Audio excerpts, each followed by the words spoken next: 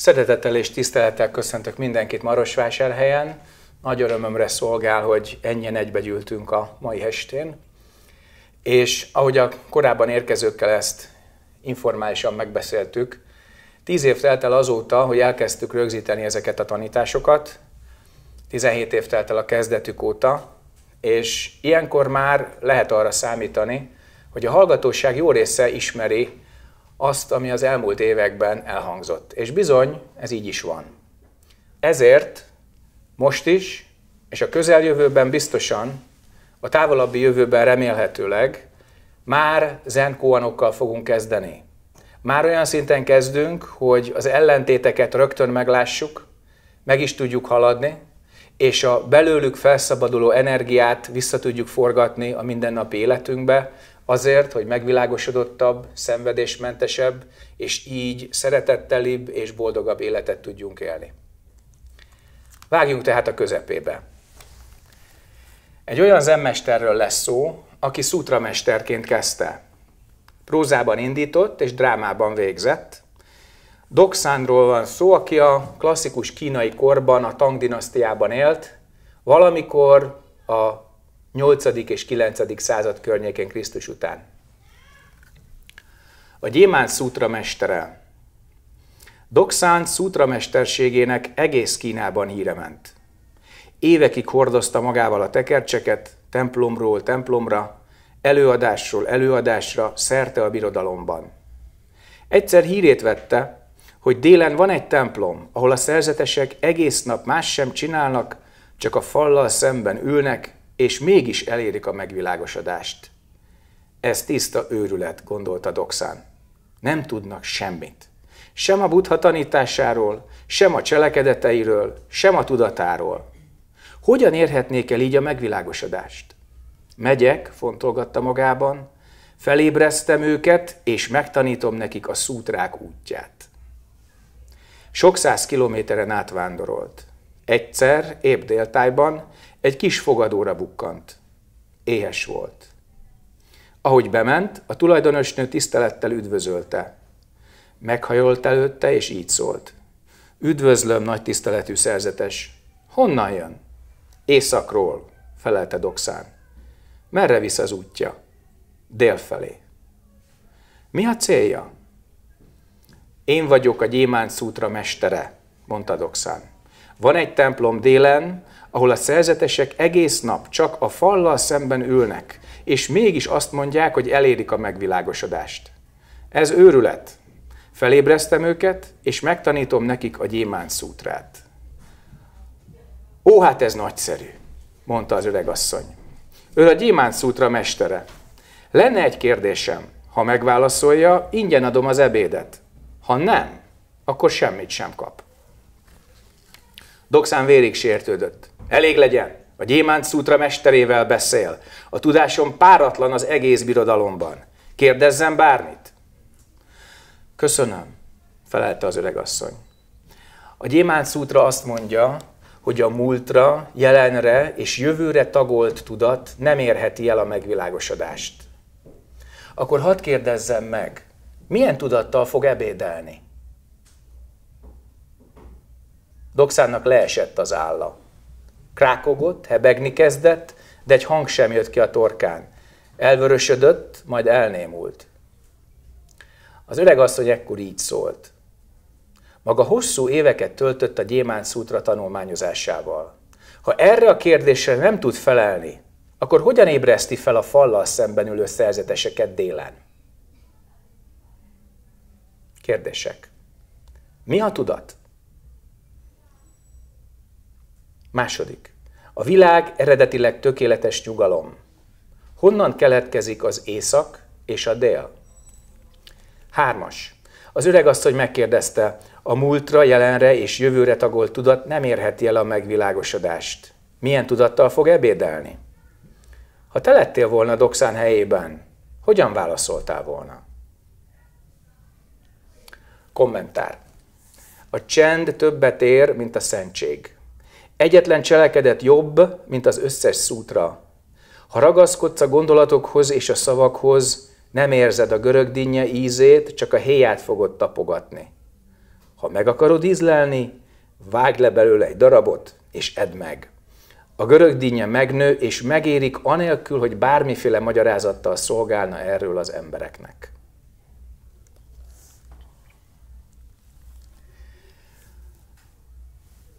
Ahol Doxánnak leesett az álla, és nem tudott válaszolni az öregasszony kérdésére, ott kezdődik a zen.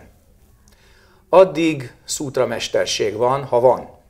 A zen tehát visszatérés az íratlan törvényekhez. Visszatérés ahhoz a természethez, amelynek nincs neve és nincs formája, nem keletkezik és nem múlik el. Mégis ez az, ami lát a szemeddel, hall a füleddel, érez a bőröddel, érzelmeket táplál a szívedben és gondolatokat az elmédben. Ezt a fajta eredeti természetet keressük más néven, sok kultúrában, sokféle módon. Melyikkel tudjuk elérni? Melyik az útunk?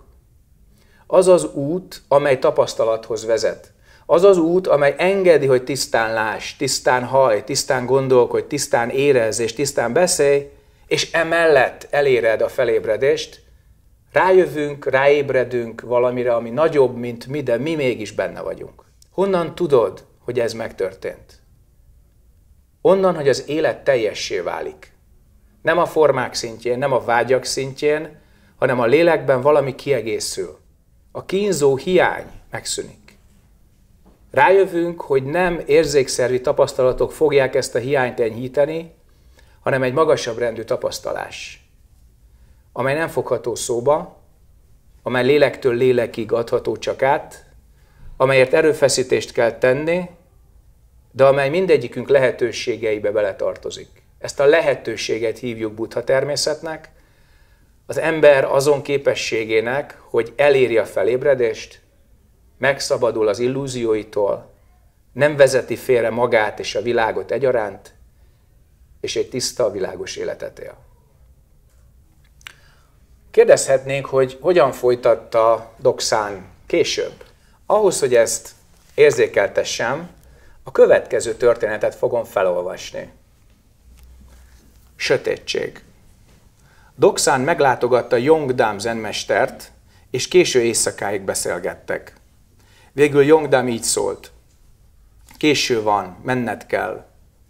Doxán elköszönt, felemelte a bejárati függönyt, és kilépett a szobából a korom sötétbe. Visszafordult, és így szólt. Mester, nagyon sötét van odakint. Kérek egy lámpást, hogy lássam az utat. Jongdán meggyújtott egy mécsest, és átnyújtotta. Ahogy Doxán érte nyúlt, Jongdám hirtelen elfújta a lángot. Doxán abban a pillanatban elérte a megvilágosodást. Mélyen meghajolt.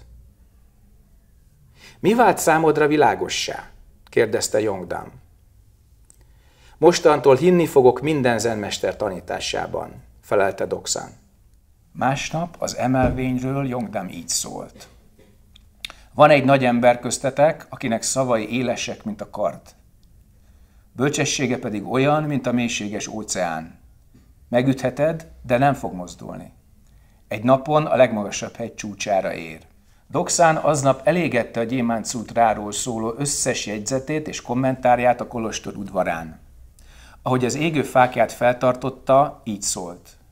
Sokféle gondolkodásmódot lehet tökére vinni, mégiscsak annyit érne, mintha egy hajszálat tennénk keresztbe az égen. A világ minden lényegi tudásának megszerzése annyit ér, mintha egy csepp vizet szórnánk egy mély szakadékba. Ezután meggyújtotta a fákjával a papírhalmot, és mélyen meghajolt az égő mágia előtt. Első kérdés. Mit ért el Doxán? Második. Van egy nagy ember köztetek, akinek szavai élesek, mint a kard, bölcsessége pedig olyan, mint a mélységes óceán. Ki ez az ember? Harmadik. Mostantól hinni fogok minden zenmester tanításában. Ez mit jelent? Negyedik. Mit jelent az, hogy mintha egy hajszálat tennénk keresztbe az égen? Kommentár. A természet mindenre megtanít. Miért kellenének a szútrák? Ha meglátod eredeti arcod, akkor a butha összes szútráját elégetheted. Ekkor teljessé válsz. Ez a két történet most elég Doxánról is, és bevezetőként is. Remélem ez kellőképp gondolatébresztő volt, és hogyha van bárkinek bármilyen kérdése, akár a koanokkal kapcsolatban, akár a zen gyakorlatát illetően, akár a mindennapi élet és a meditáció kapcsolatát illetően, az bátran tegye fel. Gondoltam én, hogy kicsit csendet fog csinálni ez a két történet.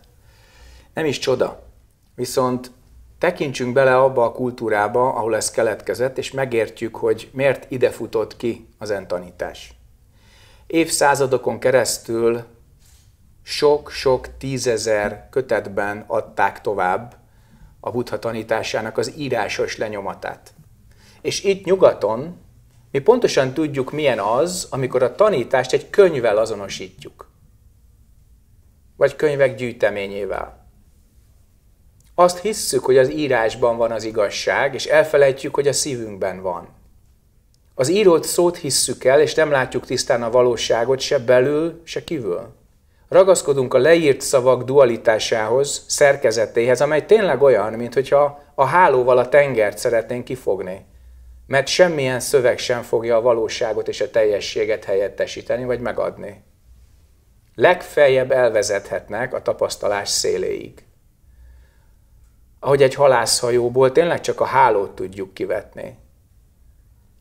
De hogyha a tengert szeretnénk tapasztalni, akkor illő letenni a hálót, érdemes félretenni a dualisztikus gondolkodást, és ugorjunk be a tengerbe. Tapasztaljuk a teljességet. Ehhez kell a gyakorlat útja, amelyet, mint hallottuk, Doxán mélységesen lebecsült, mielőtt egy olyan kérdést kapott volna, amelyet nem tudott gondolkodással megválaszolni. Tehát amikor ez a pillanat elkövetkezett, ő akkor lépett be a zen kapuján. Ez ennek a történetnek a lényege, ami a fogadós nővel történt. Amikor pedig ment tovább és elért nem sokkal később Jongdám zenmesternek a templomába, akkor találkozott egy valódi zenmesterrel, és a beszélgetés közben ez történt, ami a mécsessel. És kiderült, hogy akkor a világosság az nem fotonfüggő. A tudat fénye az nem 900 és 1200 nanométer között van, hanem az valami teljesen más. És érdekes módon erre pont akkor jött rá, amikor elfújta Jongdám a gyertyát. Nincs fény, de valami mégis lát. Mi az? Utóbbi időben gondolkoztam azon, hogy a gyakorlóknál a hamis önképépítés veszélyei hogy jelentkezhetnek, és pont erről beszéltem most. Egy, tehát kérdésemet keresztül vágtad. Mégis valahogy meg, meg kéne fogalmazni ezt, hogy a gyakorlóknál a hamis önképpel való azonosulásra hogy tudunk ráébredni, vagy hogy ébredhet rá a környezetünkbe mondjuk társunk, annélkül, hogy elkezdenék neki észt osztani. Kétféle módon. Az első és lágyabb ráébredés, ez a Koan interjú a tanítóval. Páran félünk tőle, de eddig mindenki két lábon jött ki abból az interjú szobából, és akár sírt, akár nevetett, a gyakorlata tovább vitte őt az úton. Miért? Mert a Koan interjúban pont egy világos, jól célzott mozdulattal ezt az önképet hasítjuk le. Egymásról, nem csak a tanítványról, a tanító is önképet veszít, és ez nagyon jó. Így tartja frissen és tisztán a tudatát. És hogyha ez így történik, akkor tisztább tudattal, nagyon világos valóságtudattal lép ki a tanítvány az interjú szobából, és ekkor kevesebb hibát vét. Kevesebb ént gyárt le. És akkor kiderül, hogy az a szenvedés, amit egyébként szokás szerint tapasztalunk, az nem szükséges. Az nincs előre megírva az nem egy könyvben van, mint egy rossz használati utasítás egy géphez, amelyet mindenképpen használnunk kell. A másik, az pedig a mindennapi élet, az a durvább. Ott nincs olyan, hogy gyere vissza holnap, és a hibádat kiavíthatod. Ha az életben elkövettél egy hibát, akkor azt elkövetted. Bocsánatot lehet kérni, lehet kapni, de nem tudod visszaszippantani azt, amit kimondtál. Ha a gondolataidat belül javítgatod, az rendben van, csak ha azonosultál vele, mert ítéltél magad fölött, a gondolataid fölött, az érzelmeid fölött, akkor az ott van. Saját magadon ejtettél sebet, saját tükrödre csináltál foltot. Tehát a mindennapi életből is lehet tanulni, és fogunk is, és kell is. De ott, ebben a lineáris időben, amely a születéstől a halálig tart így a látható világban, ott nincs visszaút. Ott csak előre tudsz menni. Nem tudsz visszamenni a múltba és megváltoztatni valamit, amit nagyon szeretnél. Úgyhogy az önkép, amely az önvalótól ugye távol áll, távolságának a mértékében teremt szenvedést. Minél inkább tele vagyunk a saját ideáinkkal, annál több hibát vétünk. Annál több ember lelkébe gázolunk bele. Annál többször véleményeket követünk tények helyett. Szavakra alapozunk a valóság helyett. És ekkor hibázunk. Sőt, mások hibáját is készpénznek vesszük, elkövetők és áldozatok egyszerre leszünk. És amikor ezt az illúziót felszámoljuk, akkor az önképet is felszámoljuk, és visszatérünk az önvaló tapasztalatához, amely mint a kék ég, és mint a zöld fű, olyan egyszerű és világos. Csak pont ezt az egyszerűt és tisztát nem szoktuk meg. Ennek a tapasztalata az, amely nagyon-nagyon szokatlan és idegen. Inkább megszoktuk azt, hogy a Buddha szavaival élve gyerekekként játszunk az égő házban, mert a játékaink annyira tetszenek nekünk, és annyira szeretjük a játszmáinkat játszani. Úgyhogy nem kell tenni semmit a másikkal, mint hogy te magad helyesen beszélsz, helyesen cselekszel, helyesen gondolkodsz, helyesen érzel. Minden gyakorló tudja, hogy a tudatállapotod teremti a teret magad körül. Ez az a légkör, az az atmoszféra, amit te beviszel egy helységbe, amit kimondatlanul egy másik ember megérez belőled. Ez legyen tiszta.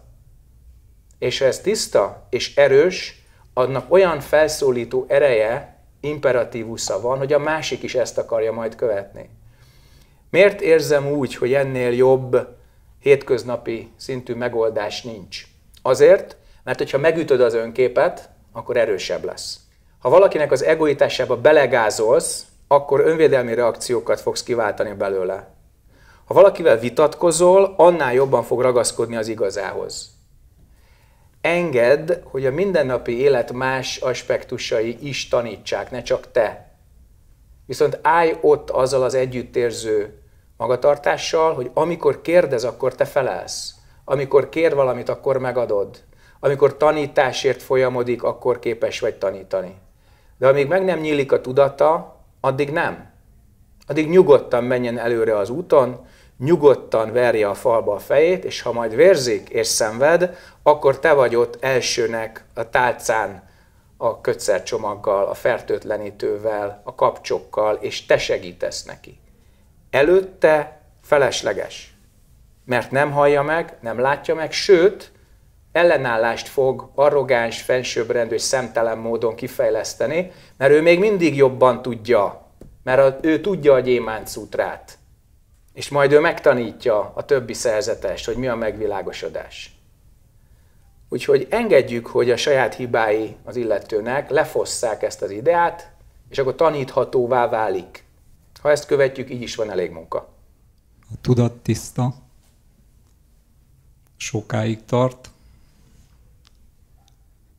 de egy idő után, mint a forgószél, hatalmas erővel felbojdul. És olyankor nem tudok mit csinálni vele. De ebből csinálj nekem filmet. Amit most elmondtál, az gyönyörű. Tehát bárki rendezi is, ez a képsor, amit itt láttattál, fantasztikus. Azt, hogy ezt látod, azt már tudod vele csinálni. Ez az első. Mi a következő? Csak ülve formális meditációba csinálom. Tudom csinálni, védekezni a hurikán ellen. De már munkahelyen, az életbe, élesbe nem megy. Sőt, egy olyan nagyon éles állapot, egy olyan, mint a, mint a bekattanni készülnék, nagyon durva állapot kezd megerősödni, amit ez többször előfordult már, úgy oldok meg, hogy hagyom. Nézd, amikor ülsz, amikor mindenki, bárki formális meditációt folytat, akkor a hurikán szemében ülünk. Mert körülöttünk forog a szamszárikus vihar, mi pedig nem mozdulunk be. De mihelyt felállsz a párnáról, mihelyt abba hagyod a formális gyakorlatot, már belekerülsz a szélviharba, elég, ha kinyújtod a kezedet a külvilág felé, és az első érzékszervi tapasztalat beforgat. Ez a kezdő gyakorlók helyzete.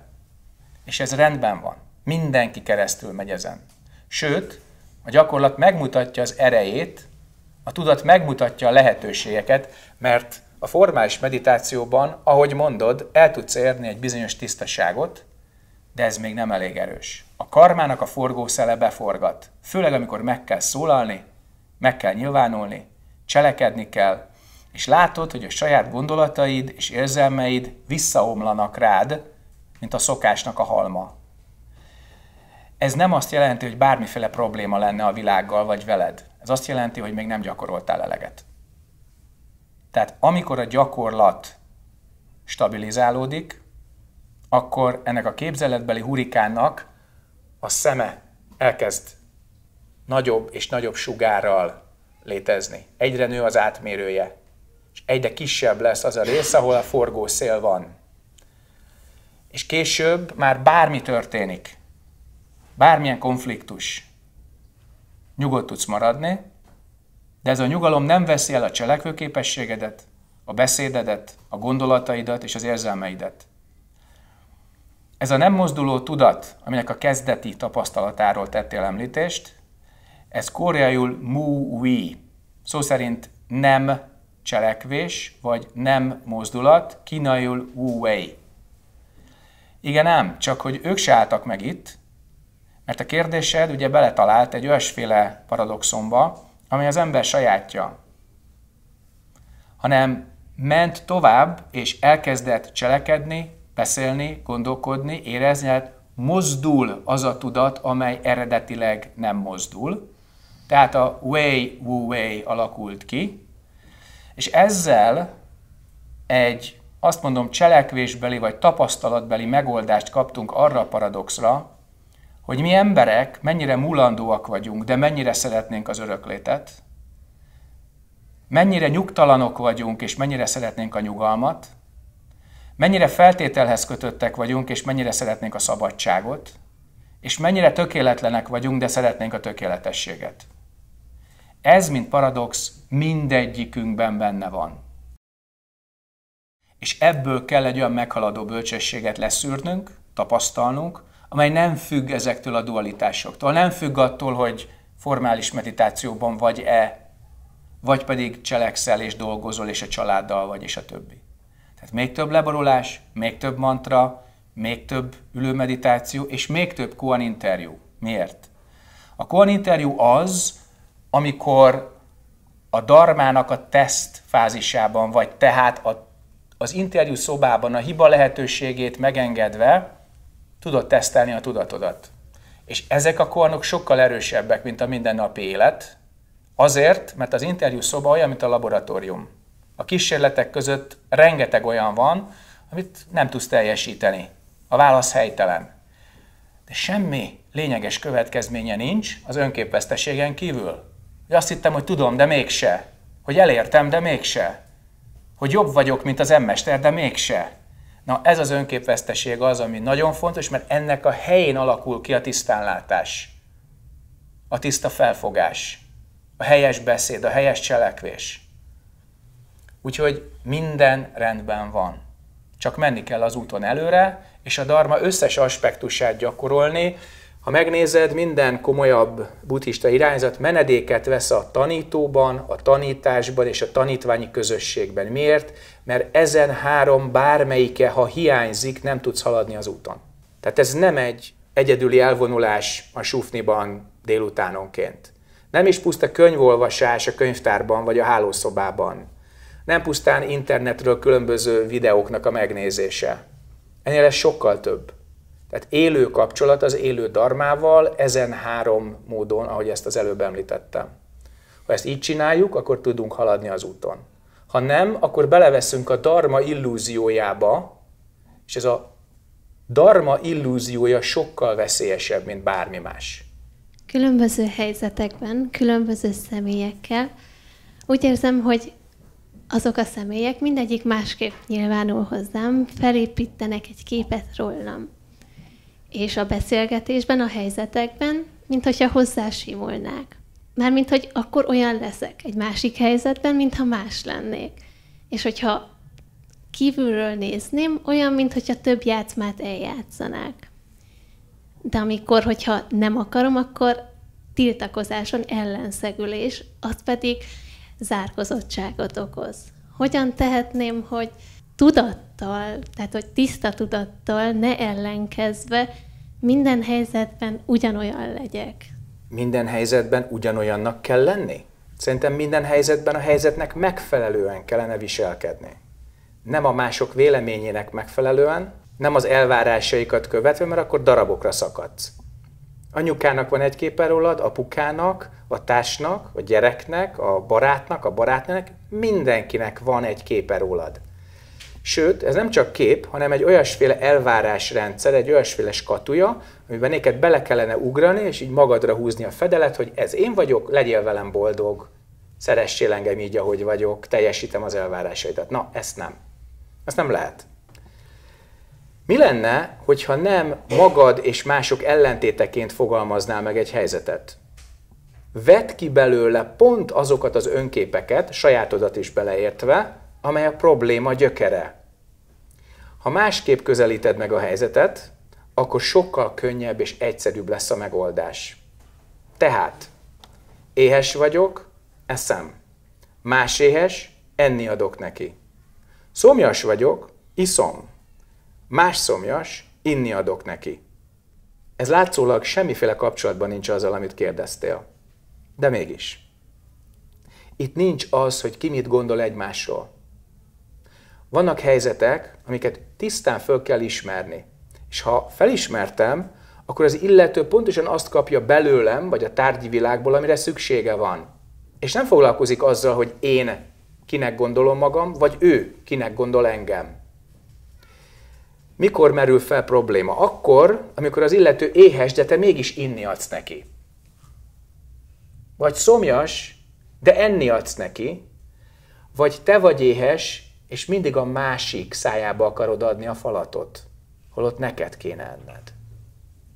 Tehát nézd meg ezeket a problémákat, amiket a mindennapi életben a felismerés hiánya, a tisztánlátás hiánya okoz, és tegyük félre azt az igényt, amit a többiek támasztanak veled szemben, mint személy, sose leszel olyan. Sose. Magad előtt hogy állsz meg? Tehát amennyire tiszta a tudat, olyan tisztán tudod a személyiségedet fölépíteni. De miért építed? Kiért építed? Mi a célja? Ha az ember csak saját magának dolgozik, hogy önismeret, önfejlesztés, különböző sikerorientált tanfolyamok, meg ön, ön, ön, én, én, én, nagyon sok mindent elér, de egy világos, önzetlen, odaforduló, szilárd magatartást azt nem. Különböző énképeknek a turbózását azt éri el. Az önelemzés állandó folyamatát azt éri el. Tehát nagyon fontos az, hogy a zennek legyen meg az a haszna, hogy egy egyéválás tapasztalat a tiéd. Hogy eredetileg se a te önképet, se a másoké nem létezik. Hogy lényegünkben azonosak vagyunk a világgal és egymással, és ez a fajta lényeg, ez tapasztalható. Ezen tapasztalat tisztítja le úgy a tudatot, hogy minden pillanatban helyesen ismered fel a helyzetet, helyesen teremtesz kapcsolatot, és helyesen cselekszel. Ekkor ki lehet kapcsolni azt, hogy ki mit gondol a másikról. Jó? Járd az utat. Oké? Okay? És akkor nem kell jobbra-balra nézegetni. Néhány barátommal együtt már régóta próbálkozunk meditációs gyakorlattal, és többünknél felmerült az, hogy formális meditáció közben a test összerándul, egy ilyen hirtelen, involuntáris rángás jelenik meg. Ennek mi az oka, hogy lehet ezt gyógyítani? Ez volna az első kérdésem. Hány szobás lakásban élsz? Kettő. Mindegyik szobában ugyanolyan rend van? Nem, nem. Oké. Okay. A tudatnak is vannak szobái vagy rétegei. Amikor az éberséget és a tiszta jelenlétet gyakoroljuk, akkor ezekből a szobákból a tartalmak megjelennek, mert az ajtók kinyílnak, az önvédelemnek akkor éppen vége. És amilyen tartalom megjelenik a tudatban, a test úgy tud viselkedni. Tehát, ha rendezetlen érzelmi tartalmak jelennek meg, vagy rendezetlen érzékszervi hatások jelennek meg, akkor az emlék hatására a test összerándul, holott ott és akkor semmiféle hatás kívülről nem éri, csak belülről. A legjobb gyógyír erre az a leboruló gyakorlat. A leborulás azt jelenti, hogy a buthát magad fölé emeled, a butha természetet fontosabb lesz, mint az önképed, és ez a mozgás egyesíti a lélegzeten keresztül a testet és a lelket. A tudatosság pedig csak ebben a pillanatban van jelen. Ez az, ami ezt a rángatózást és egyébként enyhébb formán a különböző lelki viharokat megszünteti. Többek között egy zen könyvbe is olvastam, hogy ha csak a tíz irányt vágod el, a hal nem éri el a sárkánykaput.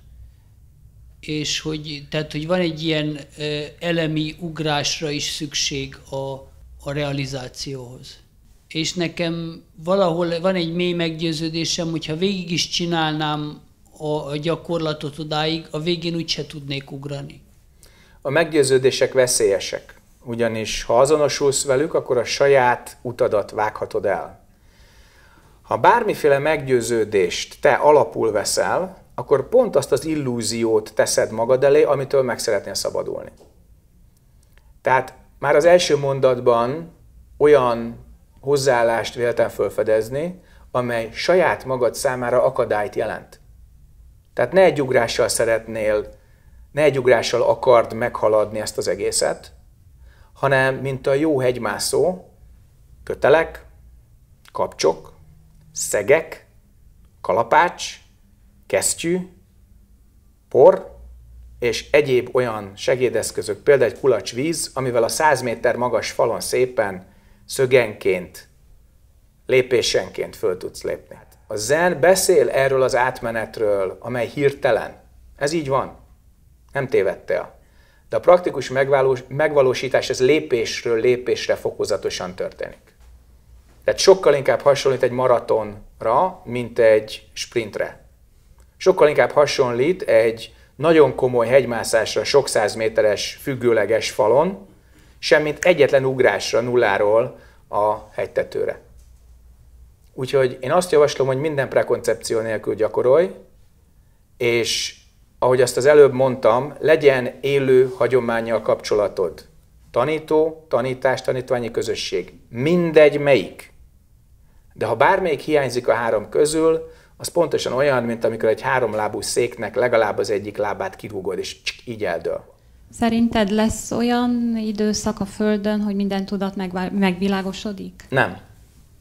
Tehát mindig lesznek szenvedő lények, akiket kell segíteni? Igen. És aki megvilágosodott, akinek a tudata megvilágosodott, az a következő reinkarnációban újból kezdi, vagy pedig viszi magával azt a tudást, amit itt megszerzett? Hát honnan tudjam én azt? Hát szerinted. Nincs szerintem. Szerencsére ezzel a kérdéssel azért nem kellett foglalkoznom, mert jelenleg a Bodhisattva közmunkaprogram részese vagyok. És nekem pont elég munkát ad az, amit ebben az életben csinálni kell. Egy biztos, korábbi életeink summázata a mostani, és a következő életünk pedig ennek lesz az eredménye. Úgyhogy óvatosan. Ha csodálkozol, hogy miért születtél éppen ide, akkor az összes életet summázataként fogd fel azt a helyet, időt, családot, ahova megszülettél, és azt a munkát, amit választottál, azt a társat, aki mellett élsz, azt a gyereket, vagy gyerekeket, akik lejöttek hozzád. Ez mind korábbi karma. Nem múltra és jelenre, jövőre kell szakadni, és nem aggódni a múlt, a jelen és a jövő miatt, hanem ezt a pillanatot rendkívül tisztán élni, és ekkor visszaforgatod a múlt karmáját, és megfelelő útba teszed bele. Az emberek általában az önvédelmük miatt falat építenek maguk elé.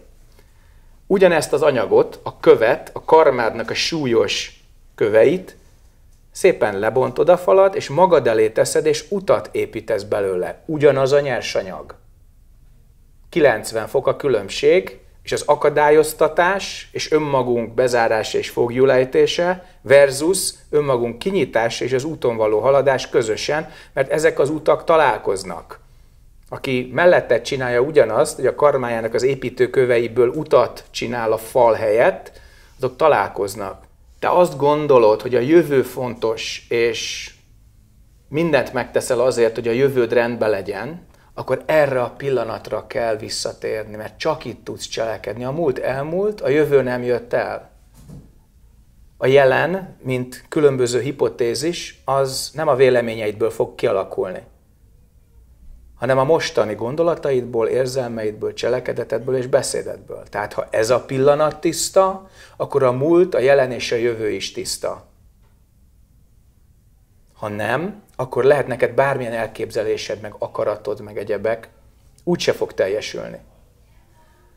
Elmondok neked egy nagyon hasonló kérdést, amit hallottam, azért, hogy egy picit más szögből is megvilágítsam azt, amit kérdeztél. Azt mondta valaki, Szunyim, hogyha én nagyon-nagyon nem szeretnék újra születni, de tényleg kialakítom azt, hogy ez az újraszületés, ez borzasztó, én ezt nem akarom, akkor mi lesz? És én azt találtam mondani, amit most is mondanék, hogy akkor úgy fogsz újra születni, hogy közben utálod. Mert egy negatív újraszületés koncepció van benned. Ha pedig nagyon szeretnéd, akkor is ugyanaz lesz, mint hogyha nem szeretnéd, csak akkor azt nagyon akarni fogod. Tehát ha van gondolkodás, ha van azonosulás, akkor van énség is, és ez az énség keres egy következő testet. Ha nincs én, akkor nincs kötelező karma, nincs kötelező újraszületés. Nagyon fontos, mit csináljuk az egészet. De a következő kérdés az az, hogy igen ám, te megszabadulhatsz az összes kötöttségtől, lehetsz te arahat, buddha, teljesen megvilágosult bódhiszatva, ott hagynád a nagyit? Vagy az unokatesót? Vagy a fiadat? Vagy a lányodat? De azért értük, csak visszajönnénk. Na, ezért lesz mindig munka. Um, az, hogy um, ki érkezik most ide hozzánk, az az én karmám, vagy az ő karmája már? Az nem csak a kettőtöké, hanem a hármótoké. Nem feledkezzünk el ám arról se. De most Egy cseppet azért ő is itt. benne van, ugye? Nem is kicsit. Az egy közös karma, ezt nehezen fogjuk föl. Tehát a léleknek megvan az önálló útja, de nem egyedül járja. Mindenki saját döntései szerint rakja össze az útját, de egymással kapcsolatban vagyunk, sőt, aki hozzád születik, az elképesztően erős kapcsolatban van, már van, lesz is, és lesz mérkőzés sorozat, hú-hú, de még milyen? Egymást fogjátok nagyon szépen a megvilágosodás felé terelgetni.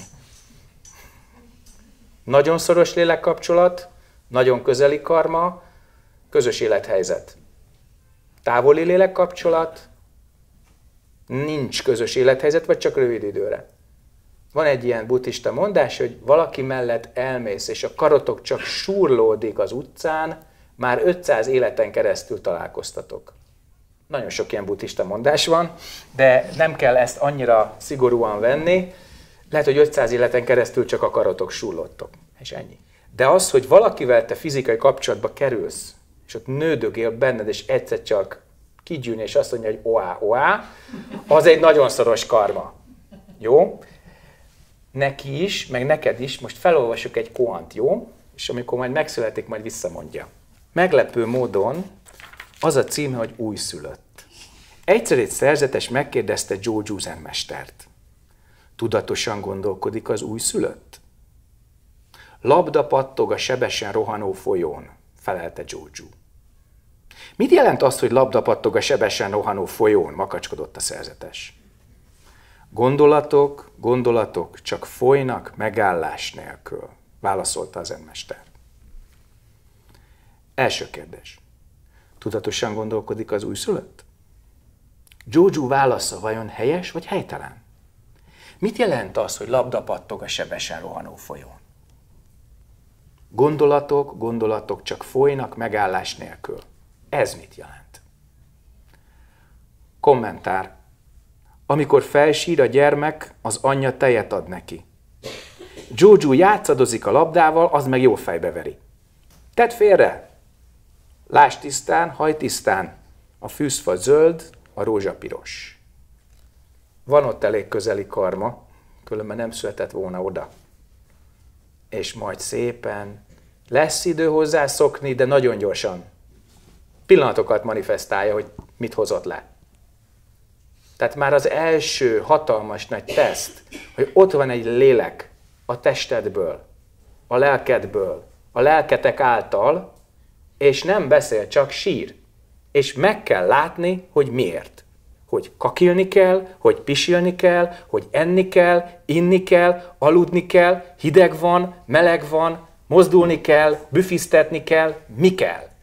És ezt szavak nélkül meg kell látni. Rá kell érezni. Ez az első nagy zen tréning a mindennapi életben úgy, hogy még nem is lettél semmiféle buddhista. Semmi módon, csak született hozzád egy gyerek. Na, boldoguljál vele. Csökkentsd a szenvedéseit.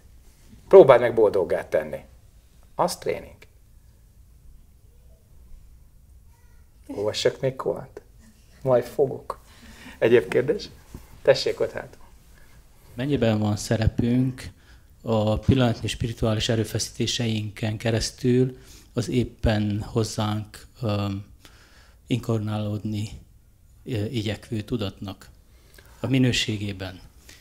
Tehát a, Eddigi tapasztalataim azt mutatják, hogy kardinális szerepe van. Gyakorlatilag a saját tudatszintetek és lélektartalmatok az, amely eldönti, hogy kiszületik hozzátok. A gyerek a reflexiód, a tükörképed nagyon sok szempontból, és rámutat mindazokra a vakfoltokra, amiket magadban még nem dolgoztál fel. Amikre nem láttál rá, és a gyerek teljesen tudattalanul és szándéktalanul olyat üt, hogy nincs az a kalapács, amelyik olyat csinálna. És nem lehet rá haragudni, mert teljesen nem tudja, hogy mit csinál, de mégis halálpontosan célba talál. Ezt hívom a karmikus vakfoltok feltárásának. Tehát minél kevesebb vakfoltod van neked, annál kevesebbet hoz le ő is. Minél kevesebbet kell egymás személyes karmájával ö, foglalkozni, annál inkább tudjuk egymást és másokat segíteni az úton. Nagyon látszik már három éves korban, hogy mit hozott le.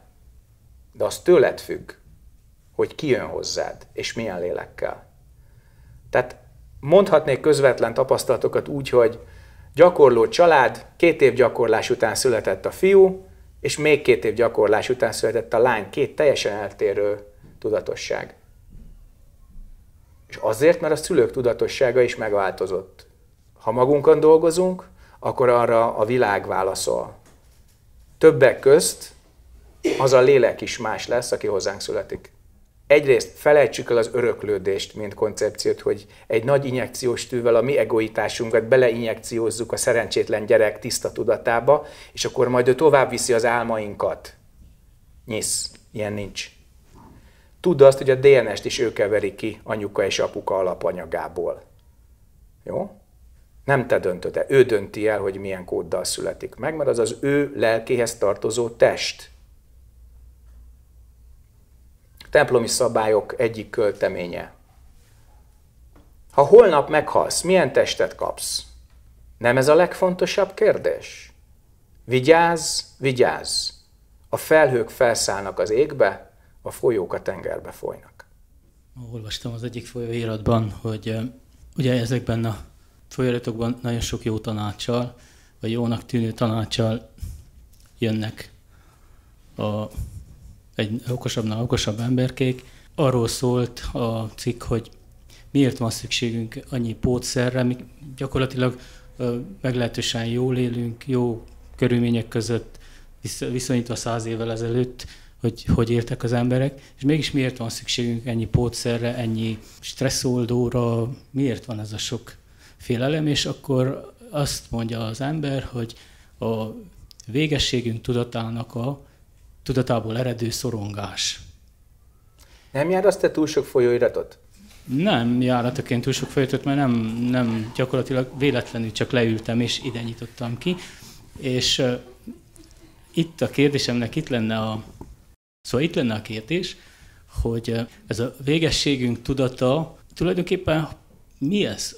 Miféle lenyomatok vannak bennünk, amelyek olyan félelmekkel töltenek el, hogy a, vég, a végességünk tudata ennyire blokkál minket. Tehát arra gondolok, hogy a, a, tehát olvastam mondjuk a tibeti halottas könyvben, hogy a, a tudat milyen rémségeket képes létrehozni a Bardóban. És tehát ezek mind lenyomatok, maradnak, visszük, nem tudunk róla, de borzasztóan félünk attól a, a pillanattól, attól a folyamattól, vagy miért van ez a, ez a végességünk tudatának a Rátapintottál, a halálfélelem a legnagyobb félelem, de mindaddig, amíg a szenvedést azonosítjuk a halállal, addig ez nem is fog változni. A szenvedés és a halál az nem ugyanaz. És innentől kezdve, hogyha a szenvedést, annak okát, annak a megszüntetését és a megszüntetésének az útját gyakoroljuk, akkor már nem a lehetetlen feladattal fogunk szembesülni, hogy nem szeretnék meghalni, mindent megteszek, hogy ne halljak meg, de mégis megfogok. Tehát a szenvedés és a halál az nem ugyanaz. Lássuk be. A fájdalom, a nélkülözés, a tisztátalan tudat, kapzsiság, dű, ez a szenvedés. A halál az egy olyan elkerülhetetlen dolog, ami az élettel együtt jár. Tehát mihelyt te megváltottad a jegyet ahhoz, hogy megszüles, a jegy hátulján nem is túl apró betűvel ott volt, hogy de meg is fogsz halni. Ez teljesen törvényszerű, és be fog következni. Első és legfontosabb feladat tényleg az, hogy a halált és a szenvedést azt válasszuk szét, mert az egyik elkerülhető, a másik nem. Tudatállapot függő, hogy testben mit tapasztalsz, tudatállapot függő, hogy hogy távozol a testből, és tudatállapot függő, hogy mit tapasztalsz a testen kívül. És ugye a negyediket is hozzátegyük, az is tudatállapot függő, hogy hogyan éled meg a születést, az újabb testesülést. Tehát négy köztes létfázis van, a testben lét, amikor a lélek és a test együtt van, ezt hívjuk életnek. A másik hosszú az, amit a testen kívüli lélekállapotnak mondunk, erről tudunk a legkevesebbet, mert amikor megszületünk, akkor elfelejtjük ezt. Nagyon nagy részt elfelejtjük. És a két rövidebb, az a megszületésnek a folyamata, amikor a lélek testet vesz föl, és a másik rövid, amikor ugye közkeletű nyelven meghalunk, amikor a lélek a testtől elválik, a test az megy a temetőbe, és a lélek pedig fölfelé onnan, ahonnan jött. Tehát innentől kezdve, ha ezt a körfolyamatot látjuk, akkor a tudatosság az, a tiszta lélek tudatosság az, amely itt a minőséget adja. Tehát nagyon-nagyon sok téves nézettel, dualizmussal, hamis azonosulással terhelt tudat, nagyon nagy távolság az önkép és az önvaló között, nagyon nagy szenvedés. A halálfélelem az csak egy kis része ennek. Van, aki elképesztően fél a feltételhez kötöttségtől. Már az, hogy ezt az életet kell élni, és megkeresni a mindennapra valót, és elmenni bevásárolni a piacra, és hazahozni, és megfőzni, és megenni, és megetetni másokkal, már ez bizonyos emberek számára elviselhetetlen, mert úgy érzik, hogy börtönbe vannak zárva hogy nekik teljesen más életélmény kellene, és kiderül, hogy nincs olyan életélmény ebben a testben, amelyik a szabadság tökéletes élményével ajándékozná meg őket.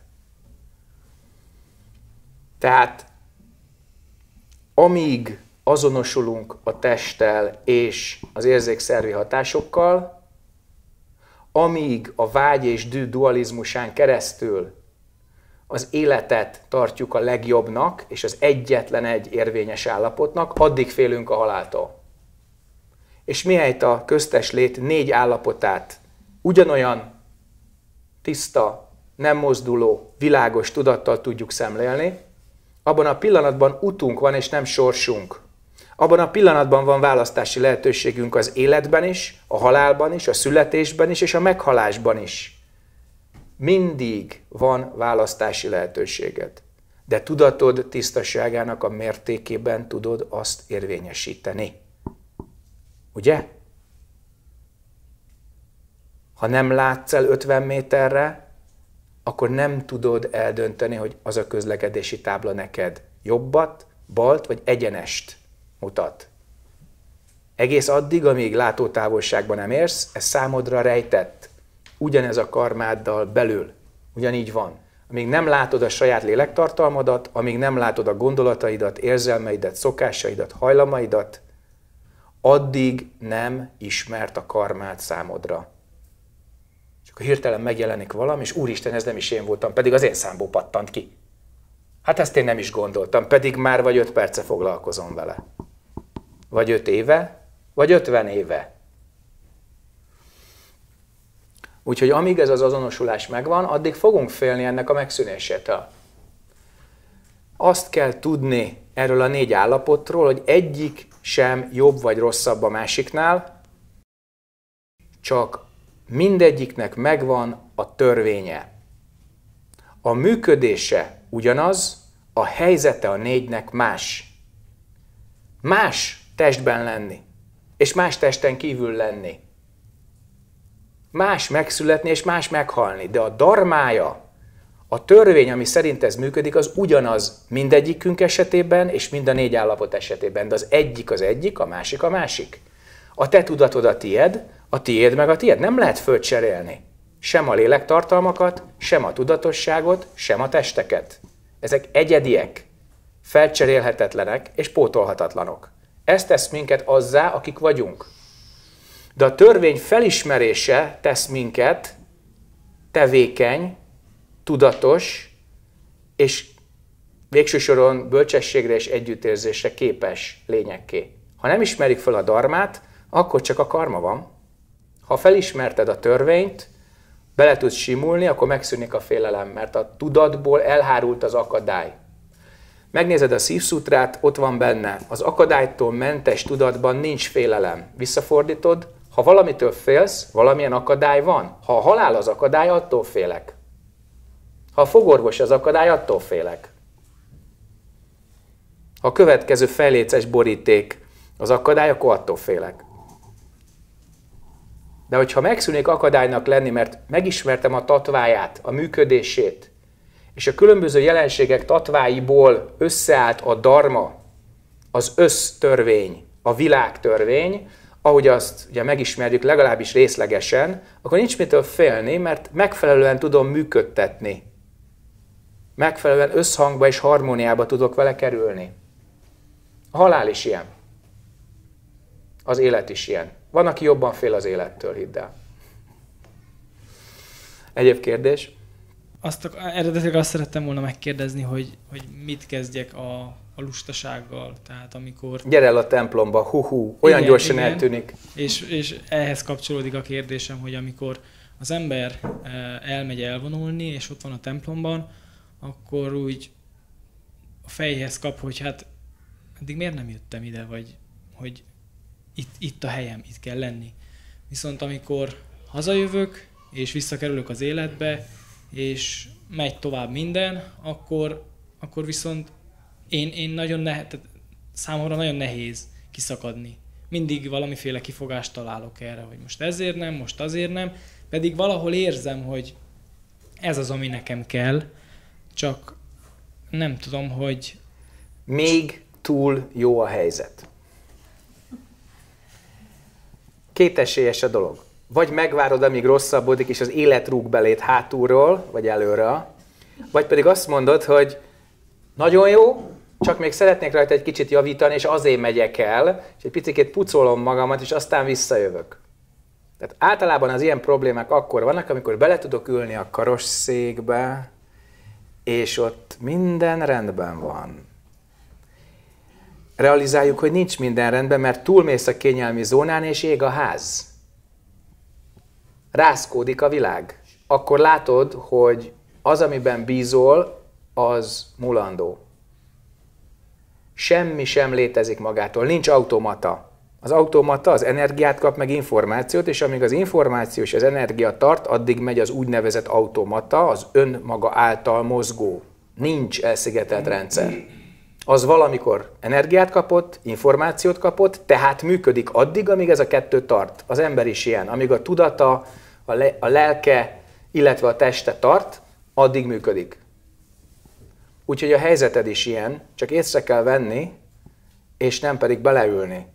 Meg kell tanulni újra teremteni, vagy kinyitni, vagy még inkább másoknak is a javára üzemeltetni azt a helyzetet, amiben vagy.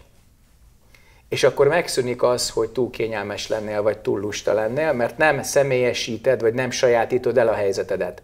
Az a tiéd, nem másé, nem engedjük ki a kezünkből, hanem inkább kinyitjuk, megismerjük a működését, megtartjuk az erényeit, és kipucoljuk a hátrányait, és megpróbáljuk több ember részesévé tenni, vagy több ember részére felajánlani. Megmondom miért.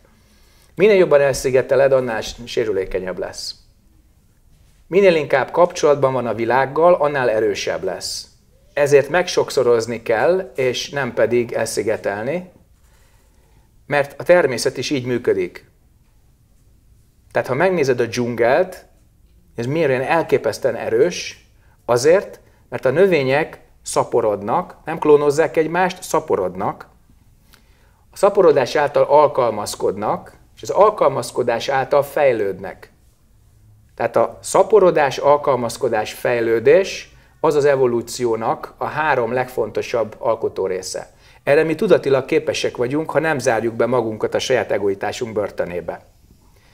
Amikor a kényelmi zónánk ezt egy picit lehetővé teszi, akkor hajoljunk meg azok előtt, akik ezt lehetővé teszik, és ezt az erényt alánk tolják, és utána nyissuk ki, és próbáljuk meg ezt, amit az előbb elmondtam. És akkor erős leszel amellett, hogy a jó helyzeted nem tűnik el. Annak továbbra is te vagy az ura. De minél több embert részesítesz szemben, bármilyen keretben, ez nem azt jelenti, hogy elkezdesz osztogatni az utcán, az a legrosszabb, az a negatív részesedés, akkor vesztesz, anélkül, hogy bárki újra termelné. Nem osztogatni kell, közösen kell cselekedni. És a közös cselekvésben van egy hierarchia, van egy közösség, van egy együttműködés, és ez az együttműködés a megfelelő darma felhasználásával, a megfelelő törvény meglátásával a jó helyzetet szaporítja.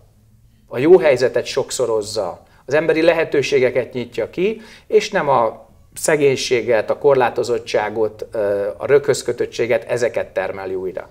Úgyhogy itt a lehetőség. Magadnak is, másoknak is. A karmával kapcsolatos magyarázataidban szoktad mondani ezt a bumerángos hasonlatot, hogy eldobom, visszajön egy perc múlva, eldobom, stb. visszajön életek múlva. És volt egyszer egy olyan mondásod is, hogy az ok és az okozat egyszerre nyilvánul meg. És most személyes tapasztalatról, szó tapasztalatot vinnék bele a kérdésbe vannak helyzetek, amikor felismerem annak a helyzetnek a, tehát felismerni vélem annak a helyzetnek az okát.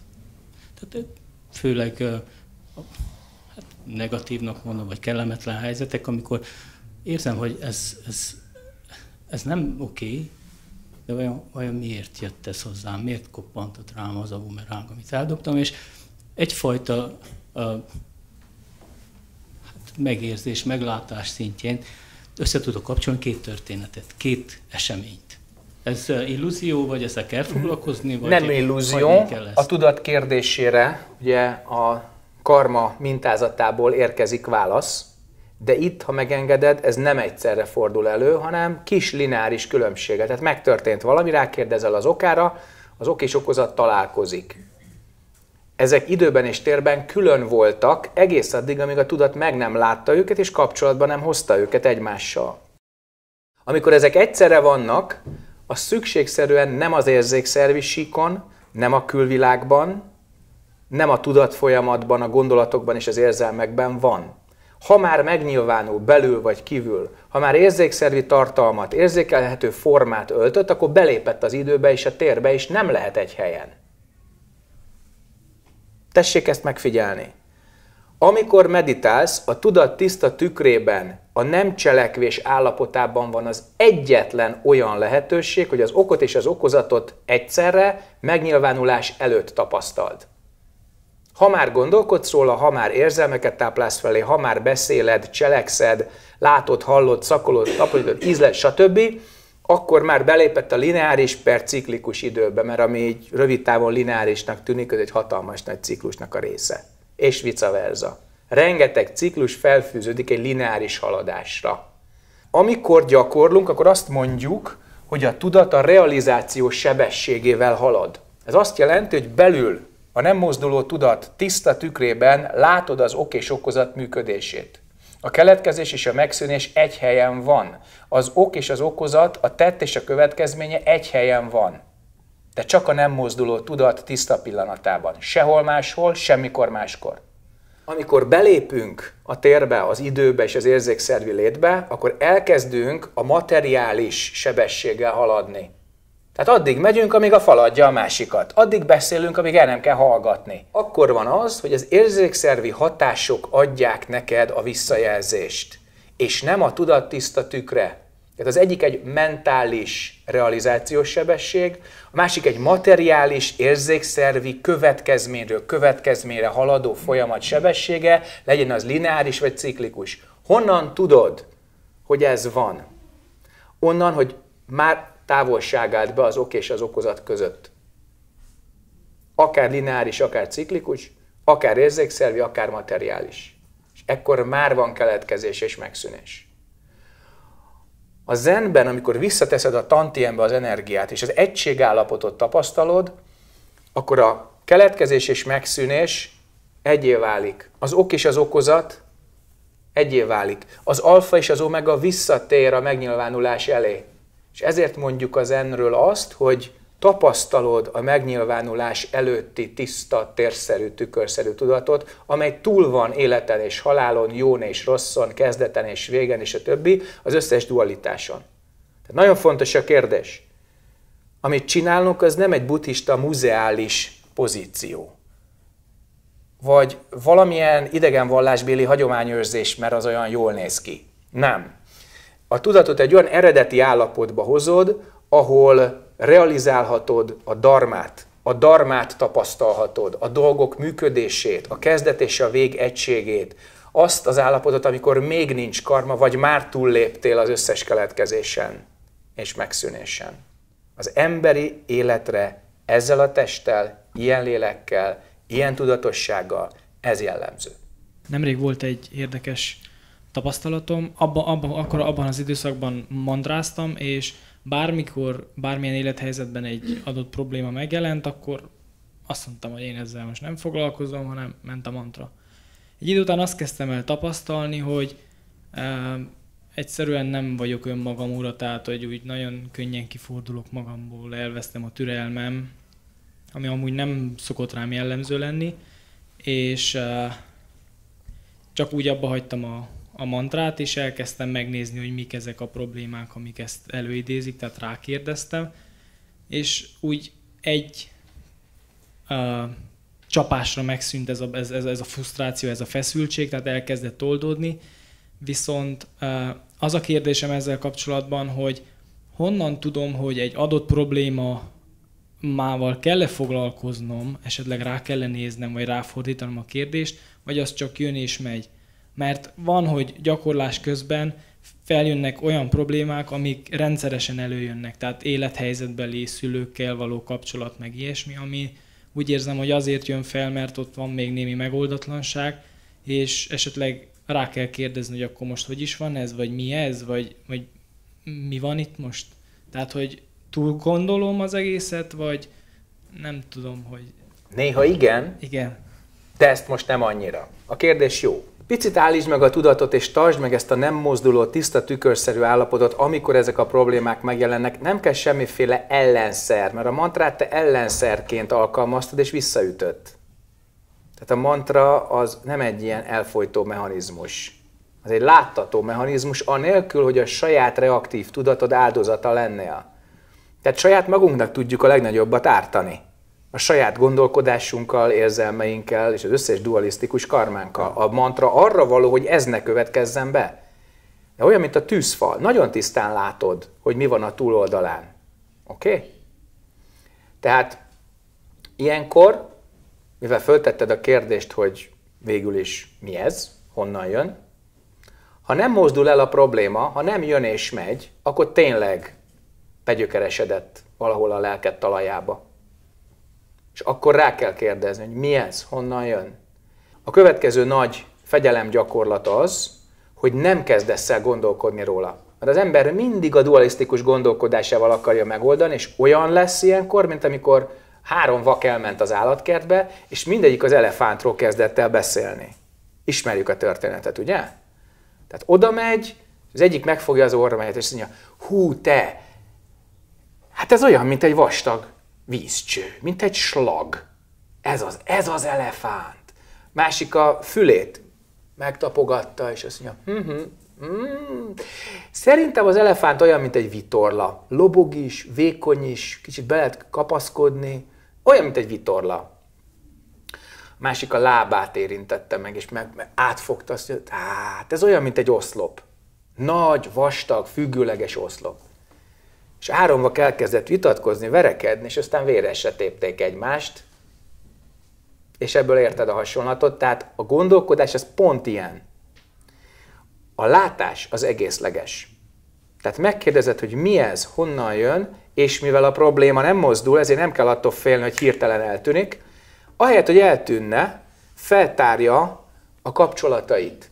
Miből táplálkozik, és mit táplál. Honnan jön, és hová megy. Mi az oka, mi az eredménye. Na, ezt a látást, ezt ki kell bírni. Mert néha a gondolati és érzelmi reakcióinkkal helyettesítjük a tisztánlátást. És nem merjük meglátni, hogy valójában mi történik, hanem adunk magunknak valami magyarázatot, pipa, enter, és megyünk tovább. Ne ezeket a szokásokat kövessük, hanem merjünk föltenni kérdést, és merjük meglátni rá a választ. Segét koant fogok neked fölolvasni ehhez. Csak láss! Ha meg akarod látni a buthák birodalmát, akkor tartsd meg a tiszta, térszerű tudatot. Engedj el minden gondolatot és vágyat.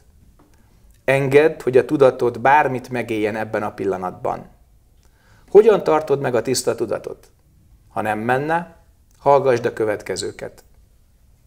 A megvilágosodás természete. A felső birodalmakban vannak a buthák, alattuk a létesülés hat világa. Egytől egyig minden jelenség teljes. Egytől egyig mindenben megvan. A por és a lényeg áthatják egymást. Már mindenben nyilvánvaló. Megszerzett tudás nélkül már teljes vagy. Értsd meg, láss rá. Egyszerű, világos. Látod? Hallod? Már tisztán látsz. Már tisztán hallasz. Ez a bot, a hangja és a tudatod azonosak vagy különbözőek? Ha azt mondod, azonosak, 30 ütést kapsz. Ha azt mondod, különbözőek, akkor is. Miért? Hat! Háromszor három egyenlő kilenc. Kérdések. Hogyan tartod meg a tiszta, térszerű tudatot? Értsd meg, láss rá. Egyszerű, világos. Ez mit jelent? Mit jelent az, hogy háromszor három egyenlő kilenc? Kommentár. Tavasszal sok virág nyílik. Nyáron zöldelnek a fák. Őszre megérik a gyümölcs. Télen hideg van. Kezdetben négy lábon, azután két lábon, utána három lábon, utána egyetlen lábon sem. Ezek mit jelentenek? Érted? Ha nem, kérdezd meg a kőleányt. Nagyon szép választ fog adni. Az lenne a kérdésem, hogy a félelem legyőzése egyenlő a félelem megszűnésével. Nem. Újra és újra le kell győzni. Annyiféle félelmünk van, te. Egyik elmegy, jön a másik. Hogyha azt gondolod, hogy legyőztem a félelmet, akkor meddig tudom ezt itt tartani? Akkor már meg is jelent az újabb félelem.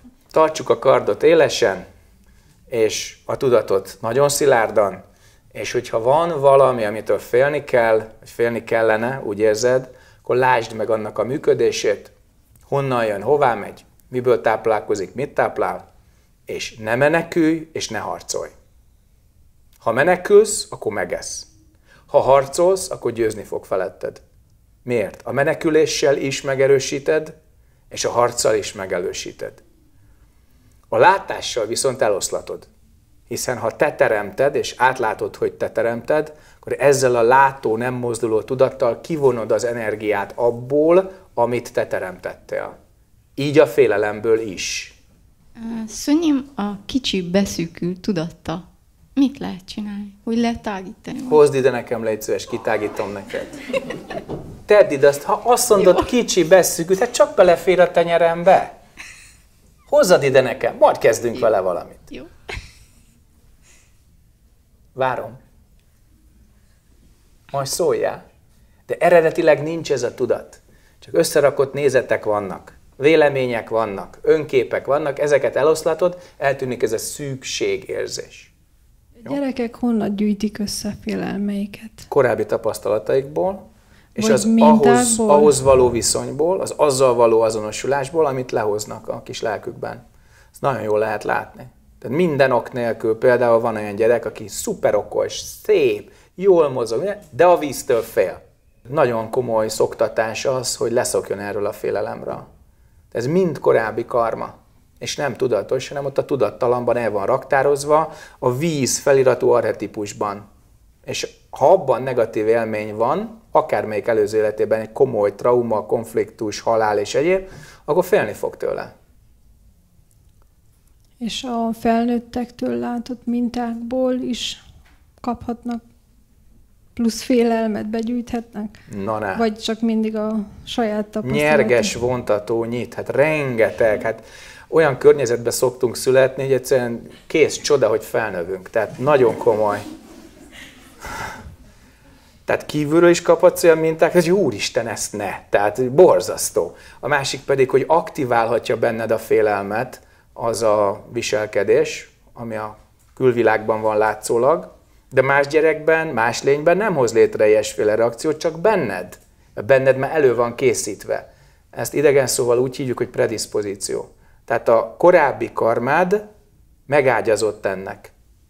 És akkor, hogyha a külső körülmény ezt hozza, akkor lehet, hogy déjà sincs, csak aktiválja ezt az egész reakciót, és akkor borzalmas. Tehát van, aki a tűztől fél. És van, aki pedig a lángba így teszegeti. Nem állítja meg, csak így szépen masszírozza a lánggal a kezét. Egyébként nem éget. Hogyha nem állítod meg, nem éget. Úgyhogy nagyon érdekes az, hogy a tárház tudatban mit hozunk le, hogy a választó, dualisztikus minőségteremtő tudattal mit döntünk el, hogy pozitív vagy negatív, szeretem, nem szeretem, félek, nem félek, megöl, éltet, stb. Ezt mind a választó tudatban döntjük el. Rakunk rá nevet, ez a fogalomalkotó tudat, és az első öt pedig ugye az érzékszerveknek a kapuja, és ezen keresztül jön a nyersanyag. És akkor ezzel dolgozunk, és ez az élet, sőt életek hossza. Ezt nagyon szeretjük, különben nem akarnánk annyira. Ha nem akarnánk ezt a tapasztalatot, akkor nem születnénk újra, meg újra, meg újra. Imádunk látni, hallani, szagolni, tapintani, ízleni, gondolkodni, azt is nagyon szeretünk, érezni, még jobban beszélni, végtelenül, és cselekedni, cselekedni, cselekedni. Ez adja az életélményt, ez adja az én élményt. És ezért annyi mindent képesek vagyunk megtenni, hogy az páratlan. Tehát az tényleg az ember csodálatos. De hogy még csodálatosabb is lehetne, hogyha nem ragadnánk bele ennyire a keletkezett világba, meg a fixa ideáinkba. Nagy a lehetőség, de nagy a kötelesség is. 90 napos elvonulást otthon meg lehet csinálni eredményesen, vagy be kell vonulni egy kolostorba? Meg lehet csinálni a 90 napost, persze otthon. Nagyon jó feleség, meg anya kell hozzá, meg hozzátartozók. Akkor lehet. Nem javaslom egyébként, nem azért, mint hogyha mindenkit a kolostorba akarnák rángatni. Néha tényleg telt ház van és várólista, de mindenkit szívesen látunk. 90 napos, az azért kőkemény, mert a saját karmád és a környezet karmája egyszerre mutatkozik meg. Na most, ha társaid vannak ebben, akkor sokkal, de sokkal könnyebben keresztül jutsz rajta. Tehát most képzeld el, hogy 25 ember egy hajón, egy kapitányjal, fedélzetmesterrel, szállásmesterrel, feladatok kiosztva, ott a térkép, kormány, vitorla, minden a helyén, még tapasztalat is, és szépen mentek a tengeren át. Ugyanez a 25 ember különböző mentőmellényekben úszik. És egymás mellett csapkodnak jobbra-balra, nincs hajó, nincs kapitány, mindenki saját maga csinálja. Hát előbb-utóbb nagyon érdekes dolgok jönnének elő a tengerből. Magyarul a saját karmád, amit te elkezdesz ottan bontani, és a falból utat csinálni, Ez találkozna azzal, ami a környezetedben éppen történik. Hát ezt főleg a harmadik hét után, ez amikor turbóba kapcsol, ez elképesztő dolgokat tud létrehozni. Én azt javaslom, hogy ha ilyen szándékod van, akkor legyen egy úgynevezett szívbéli kiolcse, egy olyan 90 napos, koreaiul kiolcse, ahol te részt veszel a templom életében távolról. Ezt meg is fogjuk írni egyébként, és a honlapra is föltesszük, hogy lesz egy ilyen lehetőség. Vannak, akik nem tudnak eljönni hozzánk, de nagyon szeretnének gyakorolni, tegyük ezt együtt. Tehát a mindennapi életedbe beilleszted a gyakorlatot, de nem cseréled föl vele. Nem zárkózol be a szobába napi 12 órára, mert szerintem a környezet egy idő után nagyon nehezen venni ezt tudomásul. És még akkor is, hogyha egyedül vagy mondjuk egy tanyán, és bekészítesz három havi élelmiszert, meg egyebeket, akkor is elég érdekes dolgok tudnak a völgyből följönni arra a hegyre. A mindennapi életet valamilyen szinten élni kell, még a templomban is, ott is dolgozunk, takarítunk, főzünk. Nagyon komoly önfenntartó munka van ahhoz, hogy a nap nagy részében meditációval tudjunk foglalkozni. Úgyhogy én azt javaslom, hogy ez részidőben legyen, és előtte, esetleg alatta, de inkább utána a templomban egy látogatás az nagyon jó. Inkább előtte természetesen. De a helyzet az, hogy mivel nagyon sokan nem tudják ezt megtenni, ezért a reggeli gyakorlat, a déli, az esti, a délutáni, ezekből részt tudsz vállalni. Az időre nyilvános, mindenki tudja, hogy az adott órában a templomban mi történik, és azt mondod, hogy akkor most én is ezt csinálom. De aztán dolgozom három-négy órát, mert az élethez az kell.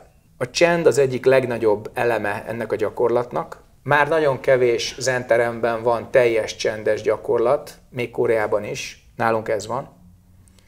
Azzal a csillag lábjegyzettel, hogy azért a munkaperiódusban minimális kommunikációra szükség van. Tehát elképesztő mennyiségű energia távozik a gondolkodásból, érzelemformálásból és a beszélgetésből. Szokások is megerősödnek. Úgyhogy lehet ilyet csinálni, csak előtte érdemes egy kis útmutatást kapni, felvenni a kapcsolatot a főgyakorló helyel, és utána aztán nagyon sok mindent lehet önállóan odahaza, esetleg fönn a hegyen csinálni, aztán pedig visszamenni a tanítóhoz, hogy nézzem már át, hogy milyen eredményt értél el. Élem az életem, teszem a dolgom, viszont nem tudom miért úgy érzem, hogy talán nem azt kellene csinálnom.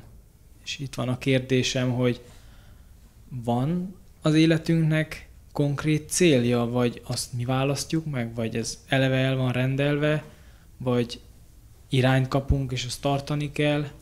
Tehát, hogy ezt kell-e keresni, vagy ez majd magától megjön. Nagyon jó megjön, kérdést mikor? föl, mert ez nem vagy, hanem és.